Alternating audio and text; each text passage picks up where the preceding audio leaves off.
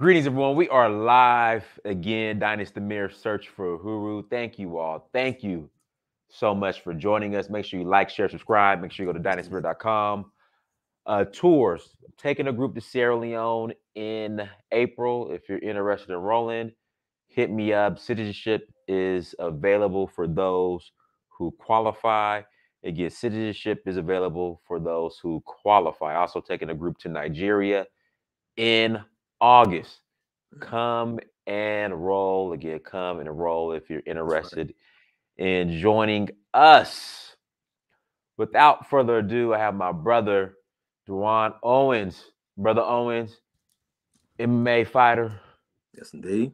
yes, indeed. Uh, uh, on with us today, guys. As you come to the chat, as you come to the chat room, please hit that like button again. Please hit that like button as you come to the chat room. Today's uh, topic we're going to be speaking on so I remember a long time ago when I was studying Islam. Mm-hmm. You know, you have Islam, then you have the, the Sunnis, you have Shiites, you have the Sufis, yeah, and you have the NOI. Mm-hmm. The Sunnis, they say that they're the real Muslims. Right. The Shiites will claim to be the real Muslims. That's right. Then they will both say that the Sufis aren't real Muslims, and then they will say that the NOI aren't real Muslims. So then the question yep. became, who are the real Muslims? And why can't they all coexist? Mm-hmm. So now you have people are saying, you know, I'm a Pan African, but you aren't a Pan African. Then you got right. this other person saying that they're the pan, real Pan African, Pan Africans, and then pointing to other people saying they're not Pan African. So right. the real question, the question today is, who gave you the authority made you the authority to decide who are the real Pan Africanism? Who made you the authority of Pan Africanism? That's right. Brother Owens, go ahead and take it away. So I'll say this, man. My I want to set the tone here. Something that frustrates me is um when people knight themselves or they they, they place themselves in a position um as the spokesperson for Pan Africanism. And anytime someone has an issue with them as an individual, they take that as an affront to Pan Africanism as an ideology. I can't tell you how many times I I have to not only defend but pretty much define Pan Africanism to somebody who, you know, their exposure to it is because you know they don't like something about a specific individual who is a Pan Africanist. So this is this is the the danger when we kind of like knight ourselves and gives ourselves titles and positions within the framework. You know, um, Kwame Ture used to break down that Pan Africanism is not just an ideology, but it's a goal. You understand? Right. This is not something just to drape ourselves in to say, you're my brother or sister in consciousness, so therefore that's it. No, we actually have work to do. So to me, the only metric of validity in terms of somebody being a Pan Africanist is them putting in work for African people. Mm-hmm. Outside of that, you know, anything else anyone else says is, is, is talk. Like I don't want to. uh, uh Too often we we replace church with Pan Africanism.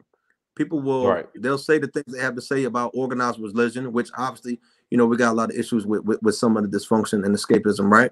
But then they will do the same thing and just replace it with you know Egyptology, Kemetology, or any other type of you know you know revisionist history or something like that. So it's it's frustrating. So essentially, nobody alive is in a position to say who is and who is not uh, a Pan Africanist.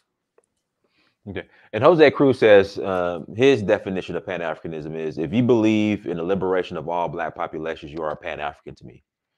It's, it's it's that simple. So and I'll I'll, I'll only add for, for, for sure. And you and this doesn't this supersedes anything else. So if you are um, like your your your gender, your nationality, or anything like that. Nothing's prioritized. Nothing is is put above you being an African and fighting for African liberation. We've had Pan Africanists. Garvey was a Christian. Christian, you know. Uh, Malcolm was um, well, you know, practice Islam. You know, we've had uh, you know, Pan Africanists who put in tremendous work for African people everywhere. You know, e- even our family. If, if you if you if we want to be clear about it, um, our Haitian family. You know what I mean? Um, part and game the independence. Essentially, you know, they're Pan Africans when they say any African person who comes here is free, and it's going to mm-hmm. be a land for any, you know, any any free person that's uh, African that, that reaches here. Um, you know, and we understand the voodoo was their spiritual system that they use to guide their actions. So long as you put in that first, long as you understand that we African first, and Garvey made that clear, so it shouldn't be any confusion. Hmm. So why do people want to overcomplicate it um, and throwing their own in the windows when it comes to Pan Africanism? I think one thing about Pan Africanism that kind of sets uh, the ideology apart from other things is because it, it, it, shows you actually have work to do. The concrete position the African people are in the world, you know, it, it, pretty much dictates that you know because we have not actualized liberation, we still have work to do. If you, I don't want to compare it to religion, but if we do, because these are strong spiritual systems, people don't really have to do no damn work. You know, they can pray, they can say what they got to say, and then that's it. You know, but when we talk about African liberation, oh, it's shit we got to actually do. We got to actually, you know, change the power dynamic between African people and non-African people, specifically white folk. You understand? And that's scary to some people. So, you know, to, to to admit that you have to do something. I mean, to admit that you know you know what's going on means you got to do something. So people will try to, you know, tear down Pan Africanism or misrepresent Pan Africanism. Whenever I see people that are uh, saying things, um, you know, in in in opposition to Pan Africanism, what they're talking about is not even Pan Africanism. Um, I've heard people say things like, "Oh, well, you know, if Pan Africanism existed, then you know, why does this happen? Why does that happen?" And it's like, fool, you understand we're striving for something, right? You know, anything else, like just because something is not actualized now doesn't mean it's something that we don't work for. You know, it's not it's not proof of its uh inability to to happen or to come to fruition. That's why we work. But again, when you're talking about people who are used to uh, escapism, you know, Pan Africanism is, is is really accountability. Mm-hmm. Guys, hit that like button, and what we'll, what we'll do here shortly, we'll go ahead and open up the lines. I'll put the link in the chat room, and you're more than uh, welcome to call in and uh, and add to the uh, add to the disc- discussion. This is Yoku Onwukwe says, Brother D'Juan and Dynast, keep up the good work. I appreciate it. And shout out to Falajiki's uh, brother who's in the chat room. You know, Falajiki uh, recently passed away. Uh, my brother in Nigeria and his brother's in the chat room. Um, is in the chat room. So shout out to uh, Falajiki's uh, brother who is in the the uh, the chat room. So mm-hmm. now, D'Juan, this idea that if you call yourself a Pan Africanism, if you subscribe to Pan Africanism, that you can't run a profitable business and make money. Why, why, why are there people who think like that? Yeah, so the problem is the essence of Pan Africanism is inherently anti capitalist, but the misconception comes in when people think to make money is to be a capitalist. Right, right. Like besides the fact that this is the social system that we live in and it's a system that was imposed on us mm. every aspect of our life is predicated by how we're situated in this economic system. To not admit that is escapism and it's bullshit. So what we're not going to do and we spoke about this uh, a while back is use wokeness but in this in this uh instance pan-africanism as an excuse not to put this work in not to do what we have to do capitalism does not have a monopoly on uh on abundance. You understand? We're specifically the capitalist critique that people have this specifically means people who work should benefit most from their damn labor and not other folk because it's not a zero sum system that starts over again. You can pass the shit down. So it's not a direct correlation between working hard and paper. And if your wealth is is is gotten through death, destruction, brutality, rape, and pillaging, and you keep passing the shit down, no one will ever catch up. That's people's critique with capitalism. Now, some people are taking that to mean that anytime you're making any kind of damn money, you're you're a capitalist, or that is inherently bad. But and this is besides being a serious mistaken analysis, this is something Dr. Amos used to always break down. This association that uh, oppressed people have that there's some type of damn redemptive salvation in being poor. That power is just right. a prerogative of other folk, specifically white folk, and, and the pursuit of power is inherently bad. He would break that down all the time, and you know, of course, us thinking like that serves to benefit white folk. Mm-hmm. Guys, links in the chat room. If you'd like to call in, please click on the link. Again, if you uh, if you like to call in, please click on the link. Uh, brother, uh, brother Owens, tell us more about Pan Africanism in action. Yeah, man. So Pan Africanism in action. This is um something that I mention often. Anytime if I'm doing um, an event or live, I always try to throw that in there because I want us to understand that Pan Africanism is actualized through our actions. Again, family, we actually have work to do. You know, I want to quote uh, the late great Khalid Muhammad. He used to always say, "Some of us, some of us, y'all got everything on the wall, but not a goddamn thing on the ball." He would be saying, "You, you know, you got Africa, but you ain't putting in no work for our people. You know, it can't be just how we feel. Um, being a Pan Africanist is not just about uh our feelings you know? I hate to keep doing it but it's just so easy. I gotta quote dr amos one more time. He used to say if our study of history is only an exercise in feeling good then we'll die feeling good about ourselves. It has we have to look at history for concrete lessons that we can learn. So when i when i think of pan-africanism or when we think of pan-africanism it's to motivate us to not only build on the legacy of our ancestors but look at the specific um think about the way the world is structured today like it's not just about going back to the past. You can learn the lessons from the past, but we also have to be competitive. We have to get with the times. I don't mean get with the times in terms of values because our values should never be based on some other folk doing, but in terms of um of uh intelligence in in in in, terms of how we operate in terms of the, the structuring of the world right i think too often we give um we think anything technological or anything contemporary is whiteness. We just give that to them, even though so if, much if, of what they control of is built off of things we created, earn, and do. Right. They just have power to pay other folk to to orient it for their purposes. So it's, it's funny you brought that up. It's interesting you brought that up. So we we had a discussion yesterday, and for example, skyscrapers, right? Mm-hmm. Uh, vehicles. So mm-hmm. we had a brother on yesterday. I was saying that you know, we need to think outside of the box because, you know, building sky uh, skyscrapers and, you know, uh, vehicles is how the white man does everything. Okay. I, will I'll say this.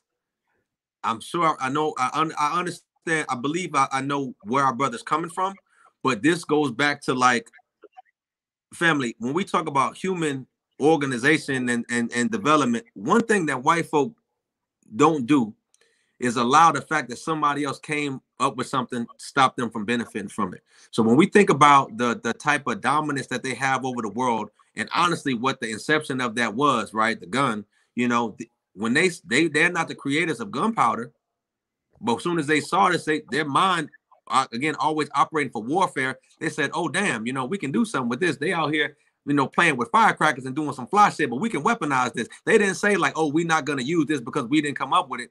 We had this right. idea that there's some one, no group of people specifically at this point in history make something on their own anyway. Besides the fact that you know, in the way the world is globalized now, if we talk about where white folk are are the majority, you know, where we talking about the UK or we talking about America, they are benefiting from this ain't just about the labor but the intellectual capacity of African people the world over.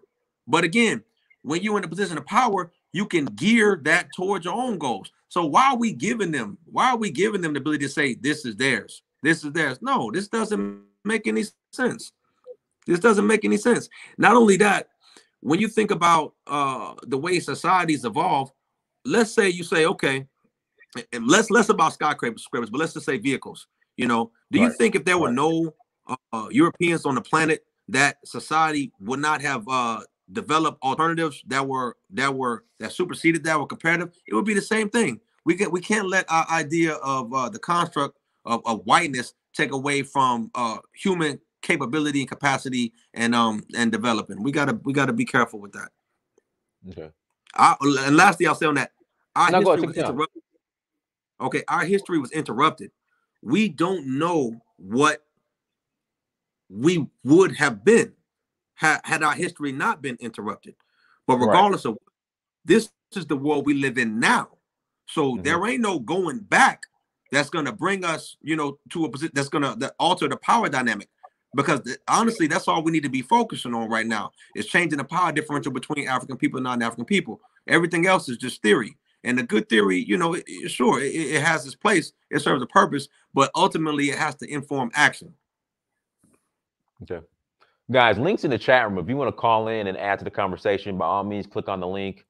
Uh, again, links in the chat room. If you want to click on that link, call in, uh, and add to the conversation, you are more than welcome. D'Juan, tell everybody about your uh, fighting career. Yeah, uh, yeah. So you know, MMA. yeah, yes, indeed. So your brother fights professionally, uh, fight MMA. Um, undefeated kickboxing. I fight kickboxing as well. MMA is just a, li- a little bit more lucrative. Um, I'm at that kind of at the twilight now where I'm, I'm, making that transition. So I'm focusing on. I've always taught self-defense seminars, but I'm I'm focusing on that more now. Um, at this point in my development, yeah, family. The older I get, the more important um it is. So when I'm teaching self-defense, it's primarily to combat gender-based violence. But in terms of MMA, I fought in Russia, Peru, um, Uganda, Canada three times, and not just fighting places like we won belts, international fights, you know, the whole nine. But like I said, at this point, MMA is a very selfish sport. It's a young sport, and it'll, it'll yeah. force you out. So you be smart and go out on right. your own terms. So I'm just focusing on making that uh making that transition. But I'll probably I'll probably get in there, throw them things another time or two. Okay, okay, yeah, I would. I still haven't seen you fight live yet, man. I man, definitely gotta get something down there in Atlanta, man, to stop playing. You know, because you were he did fight here in Atlanta, but he didn't let me know. Like I didn't find out too late. It was last minute. I remember that. My bad, fam. It was last minute. Next time, you know, you know, we'll do better. It's all good. It's all good, brother. So, uh, brother, so I can't, uh, Yuku on on the StreamYard joint. It's not like the other joints. So if some something come up, let me know. Okay. Uh, brother uh, Yuku was asking, what does D'Juan think of capoeira and parkour in terms of practical defense? Well, I- will say this: Par- parkour is some fly. It's fly looking. It looks dope, but in terms of actual you know, practical combat against a resistant opponent, unless you're prioritizing escaping, I don't know how effective it is as a as a martial system. But I got respect for it. Um, as far as uh, capoeira, I mean, obviously, family, we it deserves more respect than probably any martial system because we understand how this came about and mm-hmm. um and the purpose that it serves. I think in terms of like a one-on-one fight, mm-hmm. it, it's tough because the way combat has evolved, there's a lot of cross training. So if if any fighting art doesn't have a grappling component, like a serious grappling component, is tough. You know what I mean? Like no matter what the striking art is, you know, when you put on your back, you got to know how to get up, or you got to know how to deal with somebody. Um, you know, on top, right. you got to know how to defend takedowns. But uh, yeah, capoeira is a beautiful art and it has a very rich history, man. So I got a lot of respect for uh, for, for capoeira, you know, and capoeiristas. All right, so if I were to choose, if you were to choose just one fighting style or one art, what would you recommend? Jiu-jitsu, hands down. It's not even close. Brazilian jiu-jitsu. jiu-jitsu. And and yeah, yeah, it's not it's not even mm-hmm. close. And the way I, mm-hmm. I am gonna explain why. But one, let me just say I'm not biased, but I gotta do whatever works. You know, if I'm fighting and somebody put my ass, professional fighters money, I don't care what it's called. I got to do what works. But if I had to reduce it to one style, it, I want to be clear in a one-on-one situation, right? A one-on-one situation. If I'm in, if I'm in a, if you're in a bar or a club, for sure. Now Muay Thai or something like that will be better. You know, knees, elbows, kicks. But in a one-on-one situation, grappling for sure, especially if you have a little bit of time to work with, because like as a system, so many people, you know, uh, practice the art. So if you think of more minds committed to uh, art, is going to develop faster. So it's the, it has now developed faster than a lot of other arts. I think um, one of the major um, what makes it most effective is the fact that you use leverage. So it's not strength on strength. You know, you're mm-hmm. using more body parts against a, larger body parts mm-hmm. against an isolated body part. And mm-hmm. not only that, our natural instincts in gra- grappling situations is almost always wrong. You know, right. looking away, giving up our back. And uh, yeah, if, if you've never grappled before, I- am telling you, it- it's easy to watch a fight and be like, oh, why, you know, why is he holding him down? Nobody wouldn't hold me like that. I'll just get up it's different. You know what I mean? There's there's 12 year old, 13 year old wrestlers that'll just you know dump a grown man on his ass and just hold him down. And and and, and if you've never grappled, it's very hard to explain. But again, you know your hips, pressure, it's it's, it's system. But so yeah, hands down. Mm. Any let me let me say this, not just any grappling art. So whether it's wrestling, judo, jujitsu, mm-hmm. but it's close contact and it's constant con- contact. With striking arts, even if you're a better striker, we're still mammals. So if you fucking if you get hit in the head and your brain rattles against your skull, you're gonna get knocked out. And and we call that the fluke right. factor. It's just some lucky shit. Anybody watching this live right, right. now can instantly knock Mayweather out. Not in a boxing fight, obviously, you know, but on some street shit. If, if something wild lands, right. it lands. But when it comes to grappling, there ain't no such thing as luck. You ain't gonna accidentally right. somebody. You ain't gonna accidentally get out of some shit. You understand? Right, right. he said black belt of jiu-jitsu can choke you, break your arms and legs. Yes, like indeed. that. Y- yes, indeed. But I, but I'll tell you, I'll tell you something else. So great point. But in addition to that, with the grappling, you can dictate the level of force to use. That's why I love grappling. Like one, obviously, I'm too grown to be out here. I don't, you know, be fighting this shit if I ain't getting paid. But if it's a serious situation, like I'm not gonna hit the person because one, I want to neutralize them. Two, I, if I hit them, I don't have control over their body. You understand what I'm saying? When you're grappling, you can dictate Right. what level of force to use. With striking, Dynast, if you if you fighting somebody on the street and you don't want to, let's say your uncle is wilding at a cookout, right? Uncle is just Right. wilding. Going- Had a cookout. Yeah. Uh, Jerome, you froze up on us. Listen, so call him, but let me. All right, can you hear me now? Yeah, it's better. Go ahead. It was like a delay. Go ahead. Okay. So so look, so uncle is wilding, right? Now he's your uncle. you Uh-huh. don't want to beat him up, but he's acting a damn fool. You know, he disrespecting women and he Right. grabbing folk. Now you can't hit your uncle soft because Right. that's not gonna stop anything.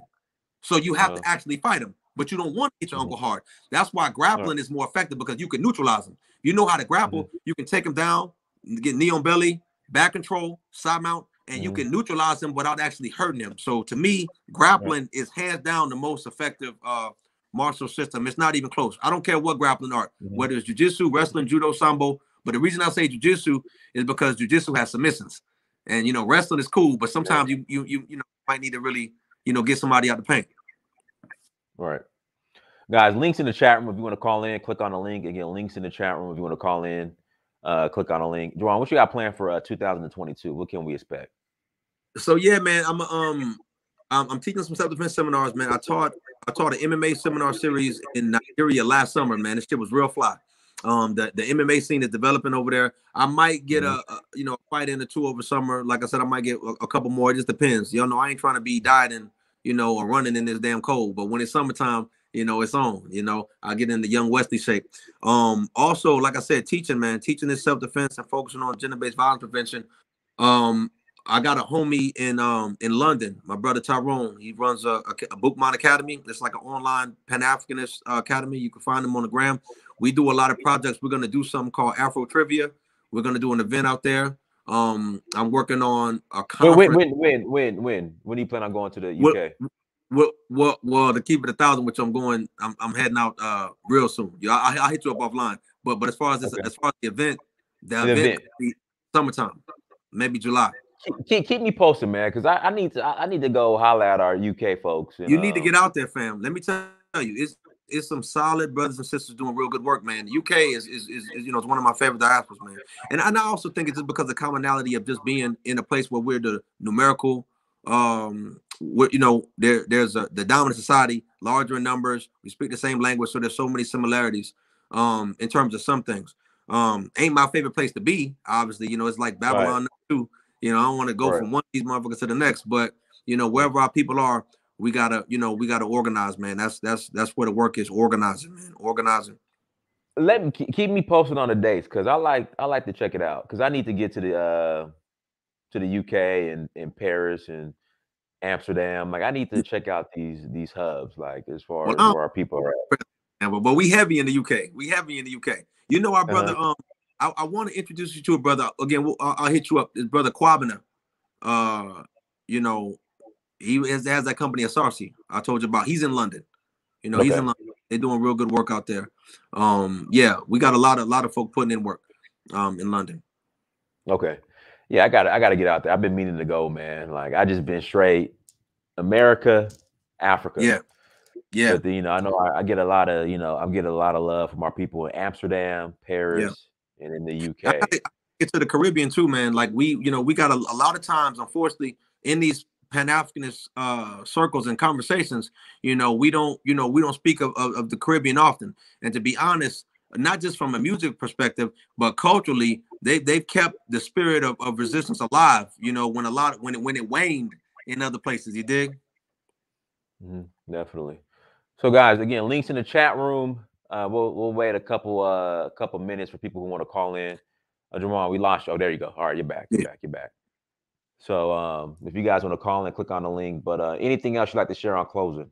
In closing, And guys, no. hit, that, hit that like button. Hold, one, one second, guys, hit the like button. I mean, come on, I shouldn't be, you know, asking you guys hit the like button. That should be done by default. you guys come to the chat room, hit the like button.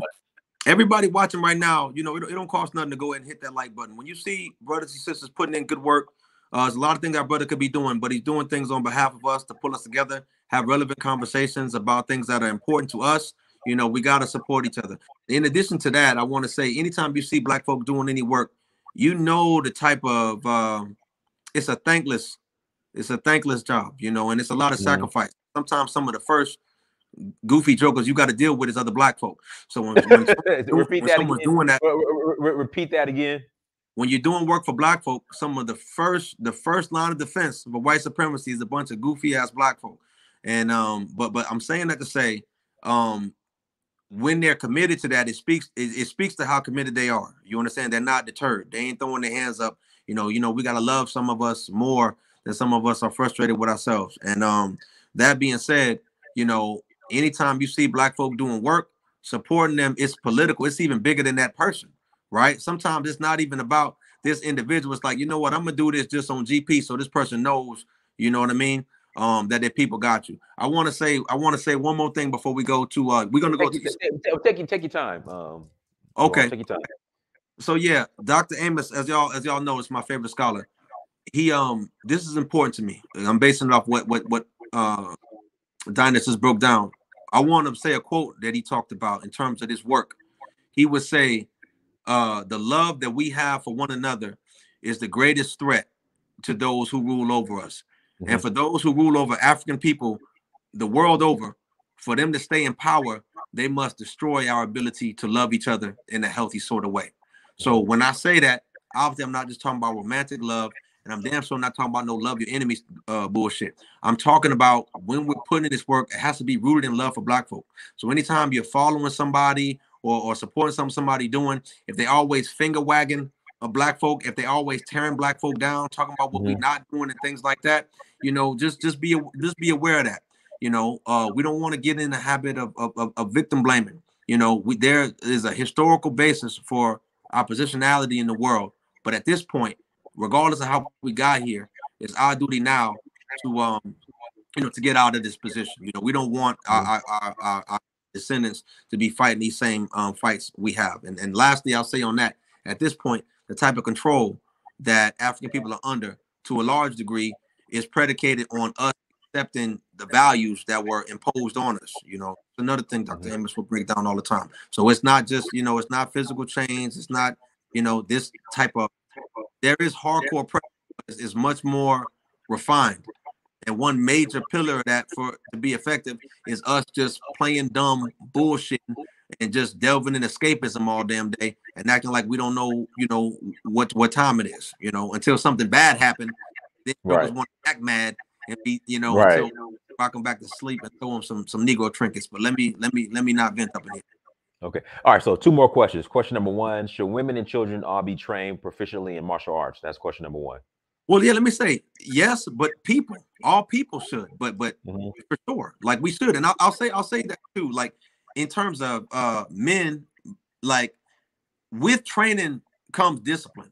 Because some people think like, oh, if somebody do this, they could be a more efficient, a more efficient goon. You know what I'm saying? There's discipline that comes right. with training. You know what I mean? When you when you like the the the act of striving to improve at something, it really it really does something to you. And, and when you understand the actual power of, of of, of fighting, you're not so quick to damn, you know, fight and get physical over dumb shit, you know. Right. Yes, to answer this, uh, that question, yes, you know, women should, yes. And another question, because I get asked this as well. Uh, your book list, like, what are a couple books people should pick up? Um, yeah. So, so one of my favorites is uh Dr. Amos Wilson's Blueprint to Black Power. Let me just say, this is a mammoth text. It's fucking huge, but it's it's like the Black Bible to me. So it's not something just to be read through. It's something to read on. It ain't the easiest to find, and I ain't gonna front. This shit is a little expensive, right? Um, but um, at this point, you know, we can get on Amazon. Yeah, oh, for sure. You can get secondhand books from any damn where family. And not only that, like, let me just say this in terms of reading. I enjoy reading, but we all understand reading is not one of these things you can do. It's not like online we got eight tabs at the same time. I understand people work. I get it like sometimes we can have this kind of like intellectual, this academic bouginess where we think uh, something is more legit because you got the information because you read it. I don't give a damn if you get the information from a lecture on YouTube. It's just as legitimate and it's just as valid as if you read it. You understand? So I just, I just, I just want to say that to folk, you know, because sometimes people get into, oh, I read this book, I read that book. That don't mean shit. The way you navigate in the world is not is not altered. The way you treat black folk ain't altered. You know, you ain't giving black folk no grace, no space. I want to say, however you get the information, you get the information. Um, so anything by Dr. Amos Wilson. Um, there's a book by a brother named Tom Burrell called Brainwash. Absolutely incredible. You know, his brother is not, you know, what I would consider a Pan-Africanist, maybe, but he's about African people, and he used to work in the media industry, like back in the 70s. He was one of the first to basically when these white companies wanted to sell to black folk and make the shit look legit, not some cheesy shit they hired his, his, his company. But through this, this brother saw that what he calls has been a centuries long black inferiority propaganda campaign. And this book it breaks down colorism. Just anyway, shit is rotisserie hot fire. Uh, Tom Burrell brainwashed. Um, Pedagogy of the Oppressed. This is a little bit more of an academic read. I'll be honest. But Paulo Freire, you know, he's Brazilian, he's not brother, but but mm-hmm. again, super hot fire, super thorough. He talks about the the psychology um, that oppressed people have adopted and how our belief in that helps to maintain us in this position. So that's very very thorough. Um, I'll say a few more. Well, I gotta throw. I, any, I'll just name some authors instead. Anything by Dr. Clark, um, Dr. John Henrik Clarke. Anything by Dr. Ben Nyaka. Um, these are some, and in terms of like the contemporary, there's a brother named Dr. Tommy Curry who puts out some very thorough work. He has a book called The Man Not. He's one of the, I, I believe, the strongest contemporary writers. Uh, a lot of the newest shit is a lot of goofy shit out here, masquerading as, as, as you know, thorough work. What is the brother? No, I don't want to fuck it. I'll name him. Ibram Kendi with this, you know, anti-racist baby and stem, all all this type of, you know, being a racial tour guide for white folk to get your bag. I'm not a fan of this type of stuff, right? Um, when you, you know, you fight to and for the community that names you, but I'm not gonna get off topic um, Dr. Curry, Dr. Amos, Dr. Clark, Dr. Ben, Dr. Wilson, and everybody I named. Like I said, you can um you can just look look their stuff up on YouTube and just let it play while you chilling, while you doing the dishes, while you chilling with your kids, while you chilling with your girl or your man or whatever. Let it rock. The same way we you'll you'll will listen to some dysfunction or have some damn some crazy ass reality show in the background. Let that joint yeah. rock in the background, even if you're not really into it. Let that shit just kind of seep into your subconscious. So yeah. Hey, everyone, thank you so much for joining. Brother Owens, thank you so much for joining. Until next time, family. Amen. Dynast Amir Search for Uhuru. Peace. All right, family. Much love and respect. Peace, peace.